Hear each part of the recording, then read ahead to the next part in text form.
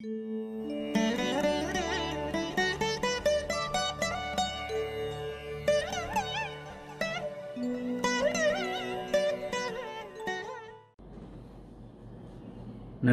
வணக்கம். எல்லோரும் நன்றாக இருப்பீர்கள். இன்றைக்கு ஒரு முக்கியமான ஒரு மிகவும் அதிமுக்கியம் என்று சொல்லப்படக்கூடிய ஒரு ஜாதக விளக்கத்தை பார்க்க போகிறோம். தலைப்பிலேயே உங்களுக்கு சஸ்பென்ஸ் வைக்க முடியாது. தலைப்பை பார்த்துவிட்டு தான் உள்ளே வந்திருப்பீர்கள்.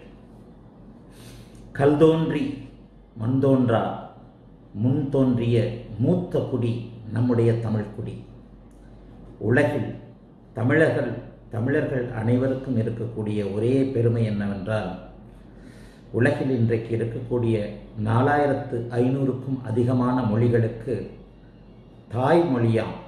உலகின் அனைவருக்கும் தாய்மொழியாம். தமிழ் மொழியினை உண்மை தாய்மொழியாக கொண்டு பிறந்தவர்கள் நாம். உலகில் முதன் முதலாக தோன்றிய இனமே தமிழினம்தான் என்கின்ற ஒரு கருத்தொற்றுமை மிக்க கருத்தும் உலகம் முழுவதும் பரவலாக ஏற்பட் ஏற்படுத்தி ஏற்பட்டிருக்கிறது. பண்டைய லெபுரியா கண்டம் தமிழர்களே பண்டைய லெமுரியா கண்டத்தில் பறந்து வாழ்ந்த தமிழர்களே இயற்கை சீற்றங்களால் இயற்கை சீற்றங்களினால் பல்கி பெருகி உலகம் முழுக்க பரவினார்கள் அப்படின்னு ஒரு கருத்துக்கள் இருக்கிறது. இதை நிறைய ஐரோப்பியர்களே இப்போது ஆராய்ந்து கொண்டு இருக்கிறார்கள் இதற்கு சான்று கீழடியும் தற்போது உலகின் மிக மூத்த குடி தமிழ் குடியாக இருக்கலாம் என்பதற்கான அனைத்து சான்றுகளும் கிடைத்திருக்கின்றன கிடைத்து கொண்டும் இருக்கின்றன. அதைவிட முக்கியமாக தமிழர்களாகிய நாம் ஏறத்தாழ உலகின் அதிக நாடுகளில் ஆங்கிலத்தை தவிர்த்து ஆங்கிலம் ஒரு பொது மொழிதானே தவிர ஒரு தொன்மையான மொழி அல்ல. ஒரு தொன்மையான மொழியாக எடுத்துக்கொண்டால் உலகின் அதிக நாடுகளில் ஆட்சி மொழியாக இருப்பதும் அதிக நாடுகளில் பரவி இருப்பதும் நம்முடைய இனம்தான். ஆகவே எத்தனையோ பெரியவர்கள் அத்தனை துறைகளிலும் ஆன்மீகத் துறையாக இருக்கட்டும் அறிவியல் துறையாக இருக்கட்டும் ஆட்சித்துறையாக இருக்கட்டும் வீரத்துறையாக இருக்கட்டும் நிபுணத்துறையாக இருக்கட்டும் எத்தனையோ துறைகளில் தமிழர்கள் பிறந்து மாவீரர்களாக வாழ்ந்து மாபெரும் மனிதர்களாக வாழ்ந்து மறக்க முடியாதவர்களாக வாழ்ந்து மறைந்திருக்கிறார்கள். அதில் நம் காலத்தில் சமீபத்தில் நம் அனைவராலும் இந்த தலைமுறையில் பார்க்கப்பட்ட ஒரு மாபெரும் வீரர் தமிழ் தேசிய தலைவர் மேதக பிரபாகரன் ஐயா அவர்களுடைய ஜாதகத்தை இப்போது விளக்கப் போகிறேன். இவ்வளோ நாள் இவருடைய ஜாதகத்தை விளக்காததற்கான காரணம் யூடியூப்பில் என்னை வந்து பின்பற்றுபவர்களுக்கு நன்றாக தெரியும். ஏனென்றால் தெரியாத உறுதிப்படுத்தப்படாத ஜாதகத்தை நான் என்றைக்குமே சொல்வதில்லை. உதாரணமாக நம்முடைய மதிப்பிற்குரிய பிரதமர் மோடி அவர்களுடைய ஜாதகம் என்றே கிட்டத்தட்ட பதினோரு ஜாதகங்கள் மூன்று விதமான நாட்களில் இருக்கின்றன. பதினோரு ஜாதகங்கள் எது உண்மைன்னு தெரியாத அளவுக்கு இருக்குது அதனாலேயே வந்து அந்த ஒரு தடவை மோ மோடியருடைய ஜாதகத்தை சொல்லும்போது கூட இதுவும் உறுதியானதல்ல அப்படின்னு நான் சொல்லியிருந்தேன். அதே போல் நான் அறிந்த நான் மிக நெருக்கமாக தெரிந்த ஜாதகங்களை மட்டுமே விளக்கி இருக்கிறேன்.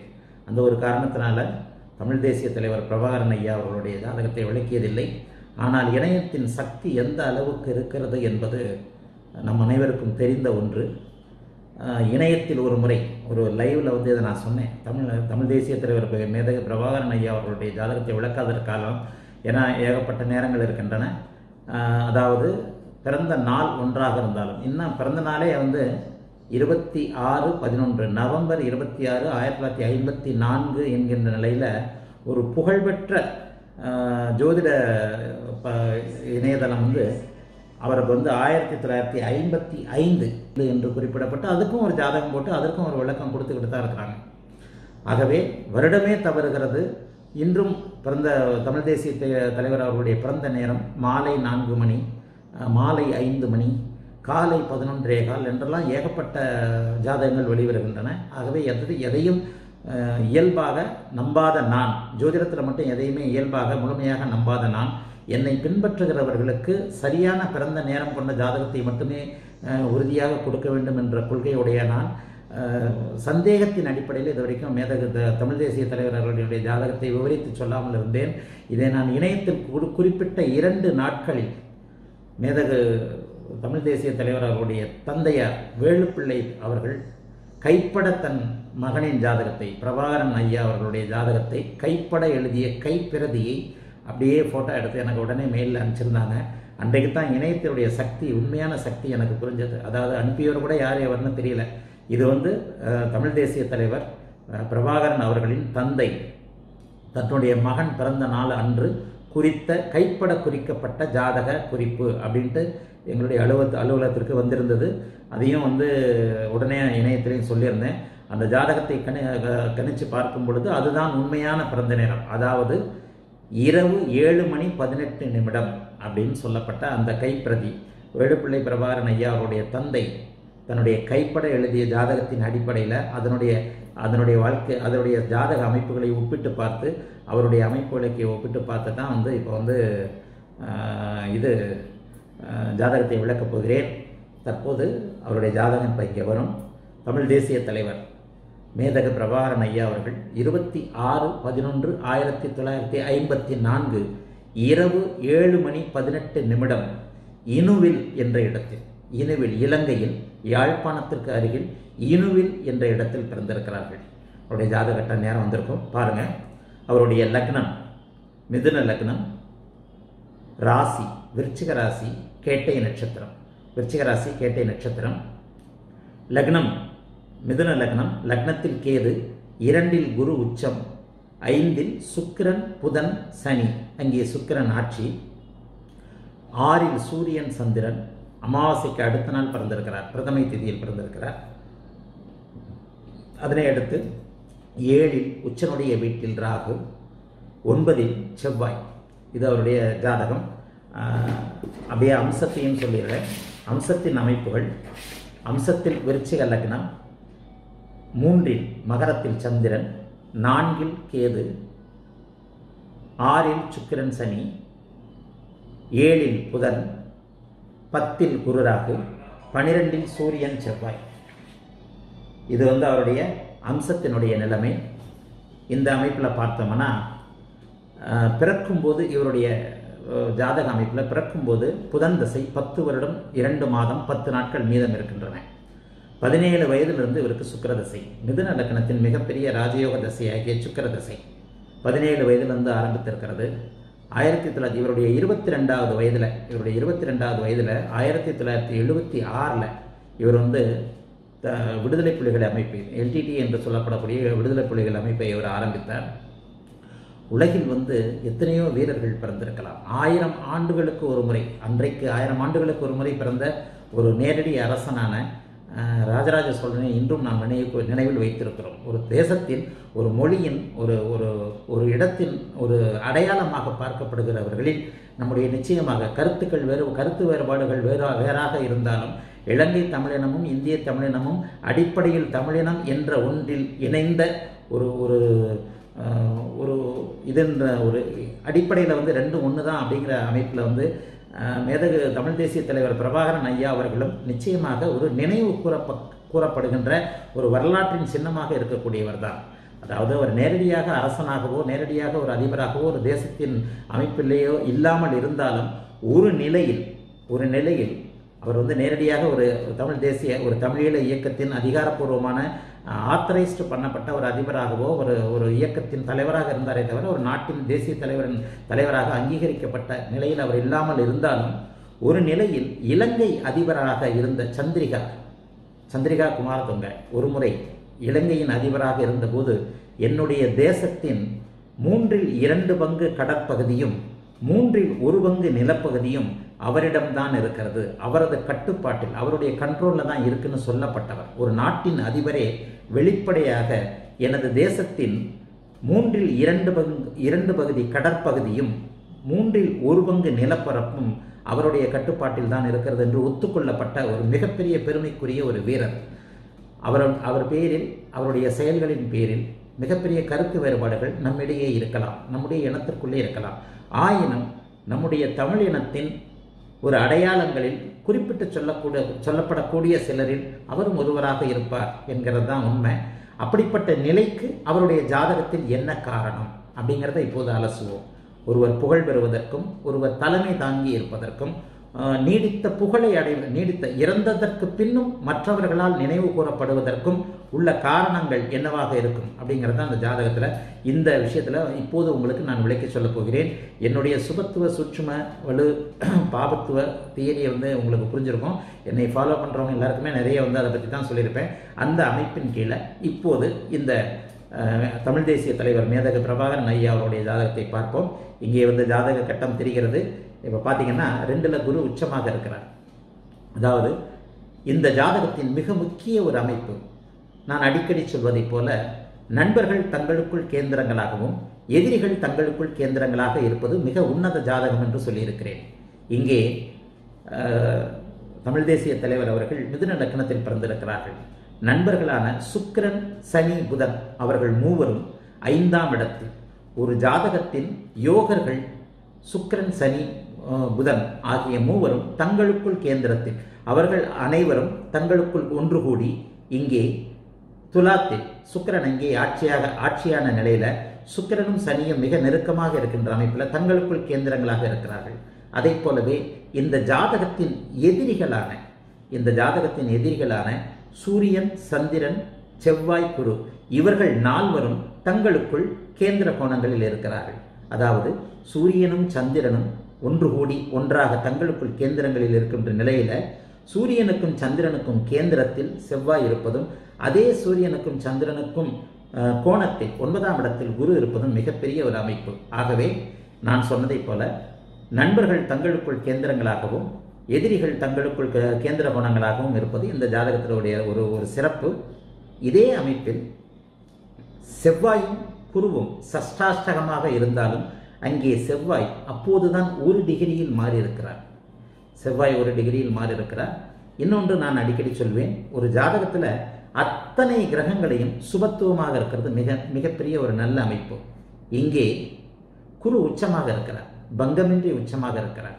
முழுமையாக வேறு எந்த விதமான ஸ்வ பாவ தொடர்புமின்றி உச்சமாக இருக்கின்ற ஒரு நிலைமையில சனி அதே நேரத்தில் சனி அவரை பார்ப்பது ஆனாலும் அவர் சுபத்துவமாகத்தான் இருக்கிறார். சுபத்துவமாக இருக்கின்ற சனி வந்து ஒரு அவருடைய பார்வை கெடுதல்களை செய்யாது அப்படிங்கிறத நான் அடிக்கடி சொல்லியிருக்கிறேன். சனி தனித்து இங்கே உச்சமாகி உச்சகுருவை பார்த்திருந்தால் அவர் நிச்சயமாக ஒரு பங்கப்பட்டிருக்கின்ற ஒரு நிலைமை. ஆனால் இங்கே சனி தனக்கு மிகவும் பிடித்த இரண்டு மாபெரும் சுவர்களோடு இருக்கிறார். சுக்கரன் புதனோடு இருக்கிறதுனால சனியின் பார்வை இங்கே எவரையும் கெடுக்காது அப்படிங்கிறது தான் நம்முடைய சுபத்துவ சுற்றுமௌல தேரி சரி இந்த அமைப்பில் ஒரு தலைமை தாங்க வைக்கக்கூடிய அமைப்பையும் பாவகமாக நான் மூன்று விஷயங்களை சொல்லுவேன். தலைமையும் அதிகாரமும் சிம்மம் மேஷம் விருச்சிகம். இந்த மூன்று பாவகங்களும் தலைமையும் ஒரு அதிகாரத்தன்மையையும் போர் திறமையையும் யுத்தத்தையும் யாவருக்கும் கட்டுப்படாத ஒரு தன்மையையும் குறிக்கும். அந்த அமைப்பின்படி இங்கே சிம்மாதிபதியாகிய சூரியனை உச்சகுரு பனிரெண்டு வருடங்களுக்கு ஒரு முறை உச்சமாகின்ற சிம்மாதிபதி சூரியனை உச்சமாக்குகின்ற குரு ஐந்து டிகிரி பார்வையில் நேர் பார்வையில் பார்க்கிறார். அங்கே குரு வந்து ஆறு டிகிரியில் இருப்பார். இங்கே சூரியன் பத்து டிகிரிக்குள் பத்து டிகிரிக்குள் அந்த நேர் ஐந்து டிகிரி பார்வைக்குள் சிம்மாதிபதி சூரியன் அதிக சுபத்துவமாக இருக்கின்ற ஒரு காரணத்தினால்தான் அவர் ஒரு தலைமை தாங்கும் பொறுப்பிற்கு வந்தார். அதாவது நேரடியான சிம்மம் சுபத்துவமாக இருந்திருந்தால் அவர் நேரடியான ஒரு அதிபராக உலகம் முழுக்க அங்கீகரிக்கப்பட்ட ஒரு அதிபராக இருந்திருப்பார். ஆயினும் அவருடைய அவருடைய நாட்டின் அதிபரே என்னுடைய நிலப்பரப்பும் கடல் பரப்பும் அவருடைய கண்ட்ரோலில் இருக்கிறது என்று மறைமுகமாக அவரை ஒரு அங்கீகாரம் பண்ணக்கூடிய நிலைமையில் அவர் இருந்ததற்கான காரணம் மேதகு பிரபாகரன் அவர்கள் இருந்ததற்கு காரணம் இப்போது திரையில் தெரிகின்ற இந்த ஸ்கிரீனில் தெரிகின்ற ஜாதகப்படி அவருக்கு குரு உச்ச குரு சூரியனையும் சந்திரனையும் ஒளி கிரகங்களான ஆட்சி பெறும் கிரகங்களான ஒளி சம்பந்தப்பட்ட அதிகாரமுள்ள கிரகங்களான சூரியனையும் சந்திரனையும் குரு பார்த்ததால் தான் அப்படிங்கிறது தான் வந்து இந்த ஜாதகத்துடைய ஒரு மிகப்பெரிய சிறப்பு. அமாவாசை யோகத்தில் குரு வந்து உச்சகுரு எப்போவுமே வந்து ஜாதகத்தில் வந்து ஒளித்த ஒளித்த ஒளி அமைப்புகளோட அமாவாசை அமைப்பு இருக்கணும். ஒளி அமாவாசை அமைப்பை சுபத்துவப்படுத்தப்பட்டிருக்க வேண்டும் அப்படின்னு நான் அடிக்கடி சொல்கிறது இந்த இந்த அமைப்பினுடைய உங்களுக்கு சரியாக இருக்கும். அதே மாதிரி வந்து இந்த மூவர் குலகுணம் இப்போ சுக்கரன் புதன் சனி. இந்த மூவருடைய வந்து சுக்கிரன் வந்து அந்த இடத்துல சுபத்துவப்படுத்தியிருப்பார்.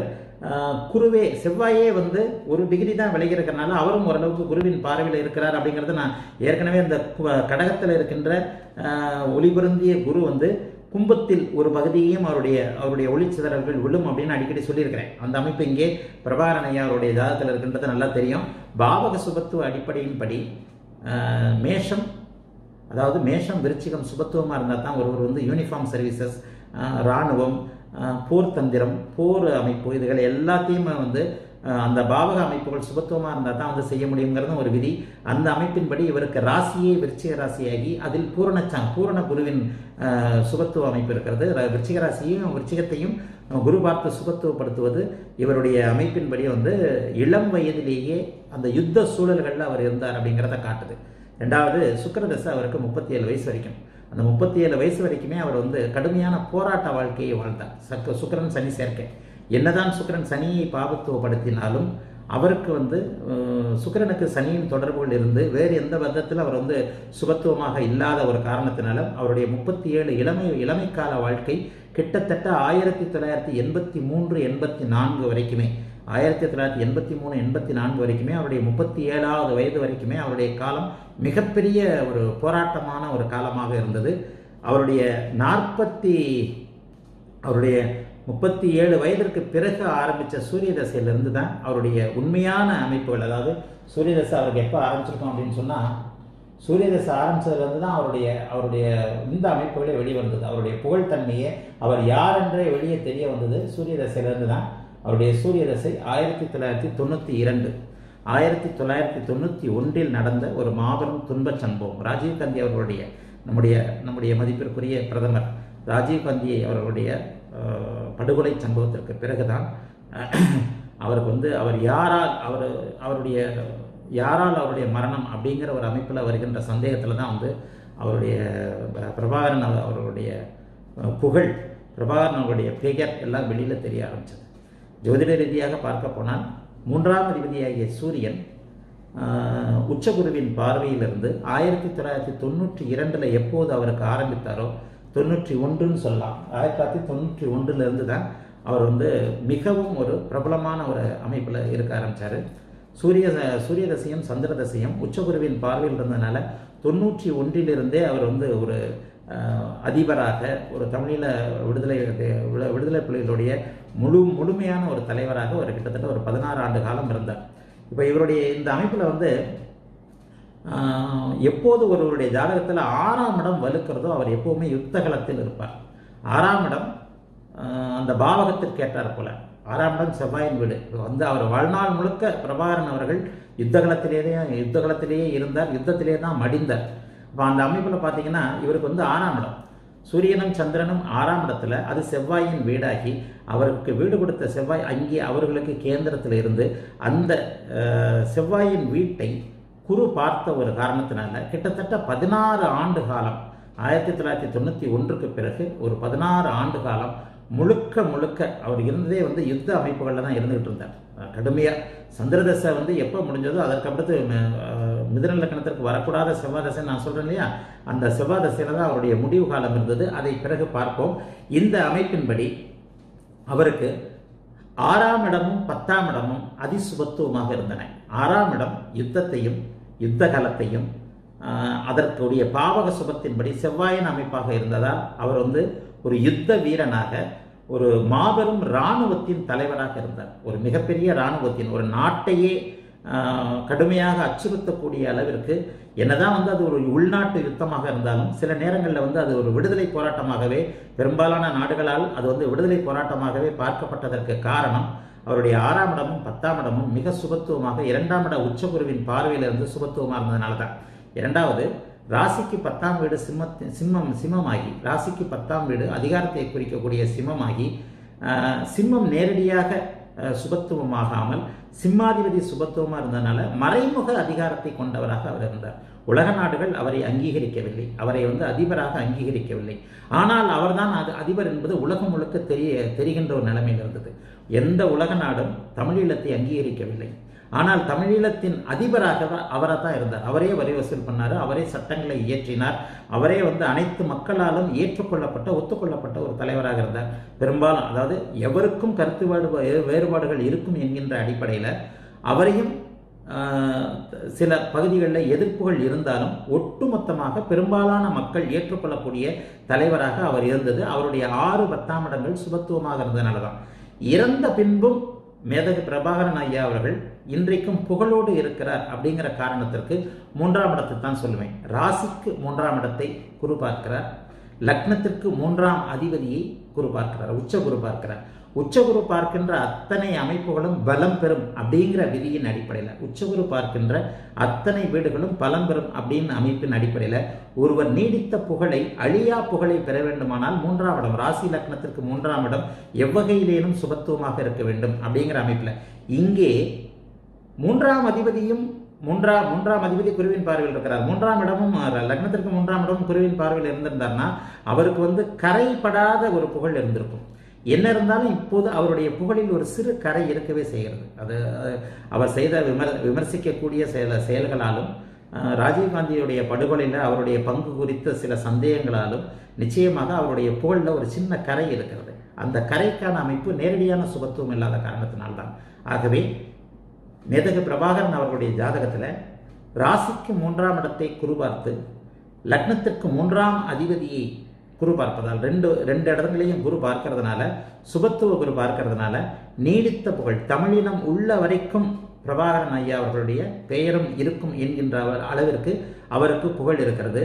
அதே நேரத்தில் இப்போ சூரிய சந்திர தசையில் இவர் புகழின் உச்சியில் ஒரு விமர்சிக்கப்பட்ட புகழாக இருந்தாலும் ஒரு அதிகாரத்தையும் புகழையும் ஒரு விமர்சிக்கப்பட்ட புகழாக இருந்தாலும் அதிகாரமும் புகழும் கிட்டத்தட்ட பதினாறு வருடங்களுக்கு மேலாக அவருக்கு நீடித்து இரு இரும்பு இருந்ததற்கு காரணம் ஒளி கிரகங்களான ஆட்சியை தரக்கூடிய அதிகாரத்தை தரக்கூடிய கிரகங்களான சூரியனும் சந்திரனும் பங்கமற்ற குருவின் பார்வையில் ஆறாம் இடத்தில் இருந்த காரணத்தினால்தான்.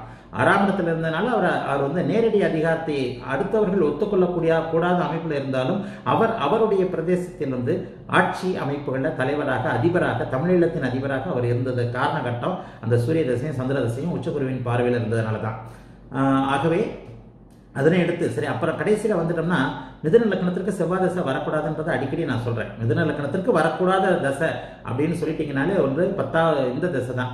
எது? செவ்வாய் தசை தான். எப்போது செவ்வாய் தசை அவருக்கு ஆரம்பித்ததோ அந்த தசை அந்த செவ்வாய் தசை வந்து அவருக்கு சரிவுகள் வர ஆரம்பித்து விட்டவன செவ்வாய் தசை ஆறு ரெண்டு ரெண்டாயிரத்தி எட்டில் ஆரம்பித்தது. ஆறு ரெண்டு ரெண்டாயிரத்தி எட்டில். ரெண்டாயிரத்தி எட்டில் எப்போது செவ்வாய் தசை ஆரம்பிக்க ஆரம்பிச்சிருச்சோ? ஆறாம் அதிபதி. அப்போதே அவருடைய எதிரிகளின் கை ஓங்கிவிட்டது.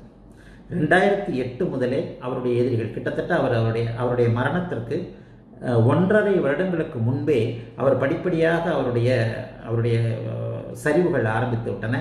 செவ்வாய் தசம் ஒன்பதாம் இடத்துல இருந்தது. செவ்வாய்க்கு எவ்வித சுபத்துவமும் இல்லை. செவ்வாய் எவ்வித சுபத்துவம் இன்றி பாக்கியஸ்தானத்தில் போய் உட்காண்டாரு நேரடியான குருவின் அமைப்பில் அவர் இல்லை. குருவிற்கு சஷ்டாஷ்டகமாக இருக்கிறார். அந்த செவ்வாய் திசையில் ராகு பக்தியில் ரெண்டாயிரத்தி ஒன்பது ரெண்டாயிரத்தி ஒன்பது மே பதினெட்டு பத்தொம்போது இருபது இந்த மூன்று நாட்களில் ஏதோ ஒரு நாட்களில் அவர் மரணம் அடைந்திருக்க வேண்டும். மே பதினெட்டாம் தேதியாக இருக்கலாம் பத்தொன்பதாம் தேதியாக இருக்கலாம் அல்லது இருபதாம் தேதியாக இருக்கலாம். இந்த மூன்று நாட்களில் ஏதோ ஒரு தினத்தில் அவர் மரணம் அடைந்திருக்க வேண்டும். அப்போது ரா செவ்வாய் தசையில் ராகு புக்தி அதாவது ராகு ஏழாம் இடத்துல மாரக ஸ்தானத்தில் இந்த மிதுன லக்னத்திற்கு மரணத்தை கொடுக்கக்கூடிய மாரக கேந்திர பாதகாதிபதியான குருவின் வீட்டில் செவ்வாதசையில் குருபக்தியில் குரு இரண்டாயிரத்தி ஒன்பது மே மாதம் பதினெட்டு பத்தொம்போது இருபது இந்த மூன்று நாட்களில் ஏதோ ஒரு நாட்களில் அவர் மரணம் அடைந்திருக்க வேண்டும். இந்த மூன்று நாட்களில் ஏதோ ஒரு ஏதோ ஒரு அந்த நேரத்தில் அவருக்கு வந்து செவ்வாதச ராகு பக்தி நடந்து கொண்டிருக்கிறது. இதுவும் மிகச்சரியான ஒரு அமைப்பு. அதாவது ராகு தான் இருக்கும் வீட்டின் அதிபதியைப் போல பலம் தருவார் அப்படிங்கிறது வந்து மிக மிக துல்லியமான ஒன்று. ராகு எப்பொழுதுமே நான் அடிக்கடி ராகுவின் சாயாகிரகங்களின் சூட்சம நிலைகளில் எழுதியிருக்கிறேன். ராகு எந்த வீட்டில் அமர்ந்தாலும் அந்த வீட்டின் அதிபதியின் பலனை அவர்தான் தருவார். சாரகோ பாவனாஸ்தியாக இருந்தாலும் சரி அல்லது வேறு எந்த விதமான ஒரு அமைப்புகளாக இருந்தாலும் சரி ராகு இருந்த வீட்டின் அதிபதியின் பலன்களை அவர்தான் தருவார் அப்படிங்கிற விதிப்படி செவ்வாய் தசையில் ஆறுக்குடைய செவ்வாய் தசையில் ஆறுக்குடைய செவ்வாய் தசையில் ராகு புக்தியில் உச்சமாகிய ராகு உச்சமாகிய குரு குருவின் வீட்டில் அமர்ந்த மாரக கேந்திர பாதகாதிபதியான குருவின் வீட்டில் உட்காந்து மரணத்தை தரக்கூடிய இங்கே நீங்கள் பாதகாதிபதினு கூட எடுத்துக்க வேண்டாம். மாரகாதிபதி தான் இங்கே. மர பாதகாதிபதி பாதகாதிபதி அங்கே இருந்தால்தான் பாதகத்தை செய்வார் அப்படிங்கிறதான் பூரண விதி. அவர் வலுக்கலாம் என்ன ஒரு இதாக இருக்கலாம். பாதகத்தை அவர் செய்ய வேண்டும் அப்படின்னாலே அவர் அங்கே இருக்க வேண்டும். மாரகாதிபதி எந்த நிலையிலும் எங்கே இருந்தாலும் மாரகத்தை செய்வார். சரி அப்போ மாரக வீட்டில் பாதக ஸ்தானத்தில் இருக்கிற அத்தனை கிரகங்களும் பாதகத்தை செய்யும் என்ற விதி இல்லவே இல்லை. இந்த இடத்தில் ராகு மாரகாதிபதியின் வீட்டில் மரணத்தை மிதனத்திற்கு மரணத்தை கொடுக்கக்கூடியவர்கள் ரெண்டு ஏழுக்குடையவர்கள். அந்த ரெண்டு ஏழுக்குடையவர்களில் இரண்டாம் அதிபதியாகிய சந்திரன் மிதுனத்தின் நாயகனாகிய புதனை தன்னுடைய மகனாக நினைப்பதால் தாய் மகனை கொல்ல மாட்டாள் அப்படிங்கிற அடிப்படையில் துதியாதிபதியாகிய சந்திரன் மிதனத்தவரை கொல்ல மாட்டார் அப்படிங்கிறது ஒரு விதி. ஆக மீதம் இருக்கின்ற ஏழாம் அதிபதி தான் கொல்லுவார். ஏழாம் அதிபதியின் வீட்டில் எவருடைய வீட்டில் ராகு இருக்கிறாரோ அவருடைய பலனை தருவார் அப்படிங்கிற விதிப்படி செவ்வாய் தசை ராகு புத்தியில் ரெண்டாயிரத்தி ஒன்பது மே மாதம் பதினெட்டு பத்தொம்போது இருபது ஏதோ ஒரு தேதிகளில் அவர் வந்து செவ்வாய் தசை ராகு அவருடைய மரணம் நிகழ்ந்தது. ஆகவே இந்த அமைப்பின்படியே ஆயிரத்தி தொள்ளாயிரத்தி ஐம்பத்தி நாலு அதனை அடுத்து ரெண்டாயிரத்தி ஒன்பதில் அவருடைய இதில் இருந்தது. இந்த இந்த சுபத்துவ அமைப்புகளில் பிரபாகரன் ஐயா அவருடைய ஜாதகம் மிகச்சிறந்த நல்ல உதாரணம். அதாவது எப்போது பாவக சுபத்துவத்தின் அடிப்படையில் இங்கே செவ்வாய் நேரடியான குருவின் பார்வையில் இருந்திருந்தால் அவர் வந்து ஒரு நாட்டின் அதிகாரப்பூர்வமான ஒரு தளபதியாகவோ தலைவராகவோ இருந்திருப்பார். செவ்வாய் நேரடியான சுபத்துவமாகவும் சிம்மம் நேரடியான சுபத்துவமாகவும் இருந்திருந்தால் நிச்சயமாக அவர் ஒரு நாட்டின் அதிபராகவோ அல்லது ஒரு அங்கீகரிக்கப்பட்ட இராணுவத்தின் தளபதியாகவோ இருந்திருப்பார். இங்கே அந்த அமைப்புகள் இல்லை. அவர் அது போன்ற லக்னத்திலேயே அவர் பிறக்கலை. ஒரு அங்கீகாரமே கிடைக்காமல் இன்னொன்று இயல்பாக பார்த்தீங்கன்னா அவர் மிதுன லக்னத்தை சேர்ந்த ஒரு புத்திசாலியாகத்தான் இருந்தார். ஒரு போர் தந்திரங்களை வகுக்கக்கூடிய ஒரு எவ்வாறு எப்படி எவரை எவ்வாறு நடத்தக்கூடிய அமைப்புன்ற ஒரு முழுமையான தலைமை பண்புக்கும் ஒரு தலைவனாக இருக்கக்கூடிய ஒரு புத்திசாலியாகத்தான் அவர் இருந்தாரே தவிர ஒரு மிகப்பெரிய போரை நடத்தி யுத்தத்தை நடத்துகின்ற ஒரு யுத்த வீரனாக அவர் தன்னை அடையாளம் காட்டிக்கொள்ளவே இல்லை. அவருடைய பேட்டிகளாக இருக்கட்டும் அவர் நடந்து கொண்ட ஒரு முறையாக இருக்கட்டும் நல்லா பார்த்தீங்கன்னா நிறைய பேட்டிகளில் அவர் வந்து அன்யூனிஃபார்மில் தான் வந்திருக்கிறார். அவர் வந்து ஒரு தளபதியோடைய தோற்றத்தோடு அவர் வந்ததே இல்லை. தமிழ் தேசிய தலைவர் மெதகு பிரபாகரன் ஐயா அவர்கள் புகைப்படங்களில் தான் அப்படி இப்படி தான் நம்ம பார்த்துருக்கிறோமே தவிர பேட்டிகளில் பார்த்தீங்கன்னா அவர் வந்து ஒரு ஒரு நிதானமானவராக அறிவார்ந்த சொற்களை பயன்படுத்தக்கூடியவராக ஒரு மிதுன லக்னத்திற்கே உரிய வகையில் அளந்து எந்த இடத்திலும் மற்றவருடைய மனதை நோகம் நோகப்படுத்தக்கூடாத ஒரு அமைப்பாக ஒரு யோசித்து பேசக்கூடியவராகத்தான் அவர் இருந்தார். ராஜீவ்காந்தி படுகொலை சம்பவத்தை பற்றி சர்வதேச பத்திரிகையாளர்கள் கேட்டபோது கூட ஒரு நேர நேரடி ஒளிபரப்பில் ராஜீவ்காந்தி படுகொலையை பற்றி மிக பட்டவர்த்தனமாக ராஜீவ்காந்தி படுகொலைக்கும் உங்களுக்கும் தொடர்பு இருக்கிறதா? நீங்கள் வந்து அதை செய்தீர்களா? அப்படின்னு கேட்கும்போது கூட அதை ஒரு துன் துன்மியல் சம்ப சம்பவமாக பார்க்கிறோம் அப்படின்னு தான் சொன்னாரே தவிர வேறு எந்த இடத்துலையுமே அவர் வந்து தன்னுடைய ஒரு இதாகவே வந்து அவர் தன்னை காட்டிக்கல உண்மையில் செவ்வாய் வலுத்தவர்கள் ஜ சேனாதிபதிகளாக இருப்பார்கள். அவர்கள் கோபக்காரர்களாக இருப்பார்கள். செவ்வாய் வலுத்தவன் தான். கோபம்தான் யுத்தத்தை நடத்துகிறது. கோபம்தான் ஒரு ஒரு ஒரு ஒரு இதை நோக்கி போக வைக்கிற ஒரு துடிப்பை நோக்கி போக வைக்கின்ற ஒரு அமைப்பு. இவர் இதே நேரத்தில் மேதகு பிரபாகரன் ஐயா அவர்கள் மேஷ லக்கணத்தில் விருட்ச லக்கணத்தில் பிறந்திருந்தால் அவர் முழுமையான போர் வீரனாக இருந்திருப்பார்.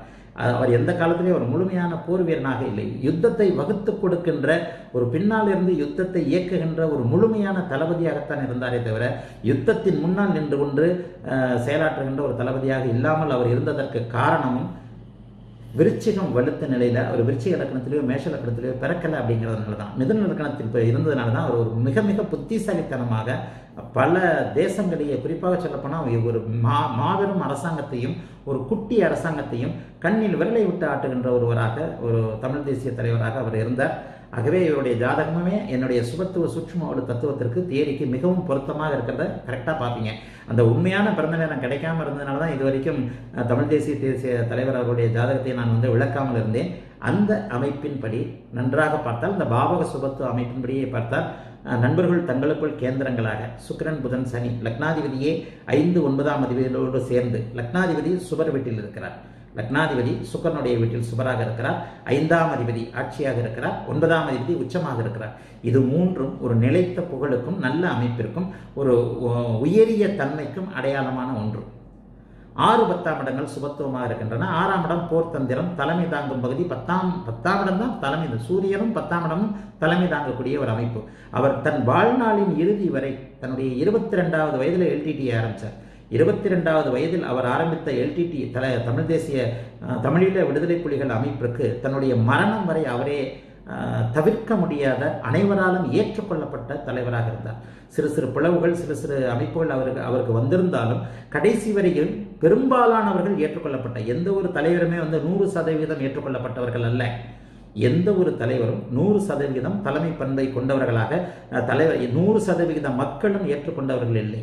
எல்லோ எல் அனை பெரும்பான்மையான மக்கள் விரும்புகிறதைத்தான் தலைவர்னு சொல்கிறமே தவிர தொண்ணூறு சதவீத மக்களின் ஆதரவோ எண்பது சதவீத மக்களின் ஆதரவு இருந்தாலும் ஒரு இருபது சதவீத பேர் அவரை மற்றவரை அடுத்த அந்த தலைவர் என்று சொல்லப்படுபவரை விமர்சிப்பவர்களாகவோ அல்லது ஏற்றுக்கொள்ள முடியாதவர்களாகவோ இருந்திருக்கிறார்கள்.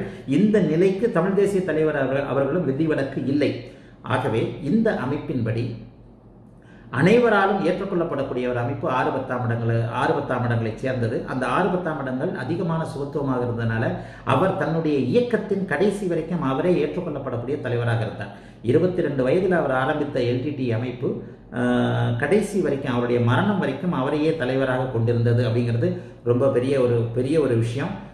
நான் சொன்ன சொன்னதை போல ஒரு பதினாறு வருடங்கள் ஆயிரத்தி தொள்ளாயிரத்தி தொண்ணூற்றி இரண்டு இரண்டில் ஆரம்பிச்சு. ஆயிரத்தி தொள்ளாயிரத்தி தொண்ணூற்றி ரெண்டுலேருந்து கிட்டத்தட்ட ரெண்டாயிரத்தி எட்டு வரைக்கும் ரெண்டாயிரத்தி ஒன்பது வரைக்குமே பதினாறு பதினேழு வருடங்கள் அவர் புகழின் உச்சியில் இருந்ததற்கு ஒளி கிரகங்களான சூரியனும் சந்திரனும் குருவின் உச்சகுருவின் பார்வையில் இருந்தது தான் ஒரு காரணம். அந்த புகழ் கூட ஒரு விமர்சிக்கப்பட்ட புகழாகத்தானே இருந்தது. நேரடியான புகழாக இல்லையே. நேரடியான ஒரு புகழாக இல்லாமல் அனைவரும் அவரை வந்து விமர்சித்து விமர்சித்து கொண்டே ஏற்றுக்கொண்ட ஒரு காலகட்டமாக இருந்ததற்கு அந்த ஆறாம் இடத்தின் அமைப்பு காரணம்.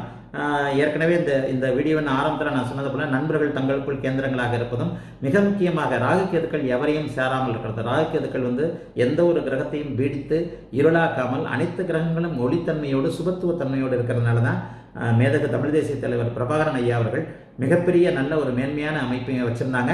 அதே மாதிரி புகழ் புகழ்ன்றதை நான் வந்து முன்னாடியே சொல்லிட்டேன். இந்த தமிழ் இனம் இருக்கிற வரைக்கும் அவருடைய பெயர் நிலைத்திருக்கும். அவரை வந்து புகழ்கிறவர்கள் புகழ்ந்து கொண்டிருப்பார்கள். அவரை விமர்சிப்பவர்களும் விமர்சித்துக் கொண்டுதான் இருப்பார்கள். ஆனால் அவர் இருப்பார் அப்படிங்கிறது தான். அவரை நல்லதாகவோ கெட்டதாகவோ எப்படி சொன்னாலும் பிரபாகரன் என்கின்ற ஒருவர் வீரத்திற்காகவோ தன்னுடைய நிர்வாகத்திற்காகவோ தன்னுடைய இனத்திற்கு பாடுபட்டதற்காகவோ தமிழ் அப்படிங்கிற ஒரு இனம் இருக்கும் வரைக்கும் நினைவு கூறப்படுவார் என்பதற்கு அவருடைய ஜாதக அமைப்பும் நிச்சயமாக ஒரு ஒரு முழுமையான ஒரு விளக்கமாக இருக்கும். அடுத்த வீடியோவில் வேறு ஒரு சில விஷயங்களை பார்ப்போம். எல்லோரும் நன்றாக இருப்பீர்கள். வாழ்த்துக்கள்.